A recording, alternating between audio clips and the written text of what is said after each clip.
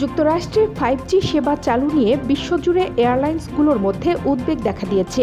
এজন্য ফ্লাইটের সময়সূচি ও ফ্লাইট চলাচলের জন্য বিমানবন্দরে থাকা উড়োজাহাজের সময়সূচি সমন্বয় করা হচ্ছে। এয়ারলাইন্সগুলোর সংখ্যা বিমানবন্দরের কাছে ফাইভ জি চালু হলে সুরক্ষা ব্যবস্থায় মারাত্মক প্রভাব ফেলবে। ওমিক্রন ধরনটির মধ্য দিয়েই প্রাণঘাতী করোনা ভাইরাসের মহামারী পর্ব শেষ হতে পারে বলে আশা প্রকাশ করেছেন শীর্ষ সংক্রামক রোগ বিশেষজ্ঞ অ্যান্থনি ফাউসি। তার আশা, করোনা এরপর সাধারণ রোগের স্তরে পৌঁছাতে পারে। তবে তিনি এও বলেন, এ বিষয়ে চূড়ান্ত সিদ্ধান্তে পৌঁছানোর সময় এখনও আসেনি। রুশ ইউক্রেন সীমান্ত ঘিরে উত্তেজনা প্রশমনের উদ্যোগ ব্যর্থ হওয়ার পর কিয়েভ সফরে যাচ্ছেন পররাষ্ট্রমন্ত্রী অ্যান্টনি ব্লিংকেন। মঙ্গলবার ইউক্রেন পৌঁছানোর পর তিনি প্রেসিডেন্ট ভলোদিমির জেলেন্সকি এবং পররাষ্ট্রমন্ত্রী দিমিত্র কুলেবার সঙ্গে বৈঠক করবেন। এই সফরের মধ্য দিয়ে তিনি দেশটির প্রতি আমেরিকার সমর্থনের জানান দেবেন।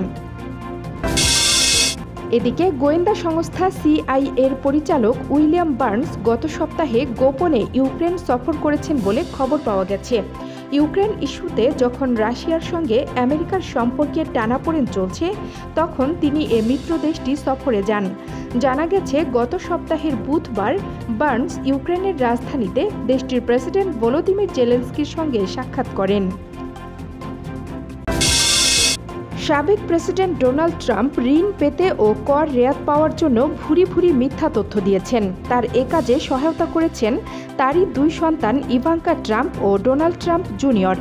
এজন্য তাদের সাক্ষ্য প্রয়োজন বলে জানিয়েছে নিউ ইয়র্কের অ্যাটর্নি জেনারেল লেতিতিয়া জেমসের অফিস।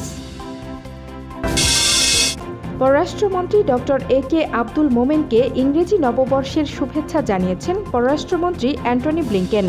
পররাষ্ট্র মন্ত্রণালয় থেকে পাঠানো এক বিজ্ঞপ্তিতে জানানো হয়, আমেরিকার পররাষ্ট্র দপ্তরের পক্ষ থেকে পররাষ্ট্রমন্ত্রী অ্যান্টনি ব্লিংকেন, বাংলাদেশের পররাষ্ট্রমন্ত্রী এবং তার পরিবারের প্রতি নববর্ষের শুভেচ্ছা জানিয়েছেন।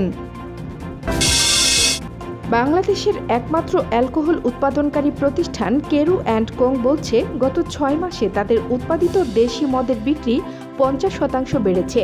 সেই সঙ্গে দেশে অ্যালকোহলের চাহিদাও বেড়েছে বলে বলছে প্রতিষ্ঠানটি। কেরু অ্যান্ড কং বলছে, নতুন বছরে তারা তাদের উৎপাদন আরও বাড়াচ্ছে। সেই সঙ্গে সরকার দেশের প্রথম বিয়ার কারখানাও চালু করতে যাচ্ছে। করোনা ভাইরাস মহামারীর তৃতীয় ঢেউয়ে ক্রমবর্ধমান সংক্রমণ পরিস্থিতির কারণে আন্তর্জাতিক বাণিজ্যিক বিমান চলাচলের নিষেধাজ্ঞার মেয়াদ আরও এক দফা বাড়িয়েছে ভারত। দেশটির বেসামরিক বিমান চলাচল মহাপরিচালকের দফতর আগামী আটাশ ফেব্রুয়ারি পর্যন্ত আন্তর্জাতিক বিমান চলাচল স্থগিত থাকবে বলে ঘোষণা দিয়েছে। সম্প্রতি টোঙ্গায় ভয়াবহ আগ্নেয়গিরির বিস্ফোরণ ঘটেছে। ভয়াবহ এই অগ্নুৎপাতের পর সুনামি আঘাত হানে দেশটিতে। এতে বিপর্যস্ত হয়ে পড়ে টোঙ্গা অগ্নুৎপাতের কারণে টোঙ্গার সমুদ্রের তলদেশে ক্ষতিগ্রস্ত সাবমেরিন ক্যাবল মেরামত করতে কয়েক সপ্তাহ সময় লাগবে। আর এটি করতে গেলে বিশ্ব থেকে কয়েক সপ্তাহের জন্য যোগাযোগ বিচ্ছিন্ন হয়ে পড়বে টোঙ্গা দু হাজার বাইশ সালের ফুটবল বিশ্বকাপের আয়োজক দেশ কাতারে তিন হাজার দুশো পঞ্চাশ জন নিরাপত্তাকর্মী পাঠাবে তুরস্ক। এছাড়া বিশ্বকাপের আসরে নিরাপত্তা ব্যবস্থায় যেন ত্রুটি না থাকে, সেজন্য কাতারের অর্ধ শতাধিক নিরাপত্তা কর্মকর্তাকে ইতোমধ্যে প্রশিক্ষণও দিয়েছে তুরস্কের সরকার।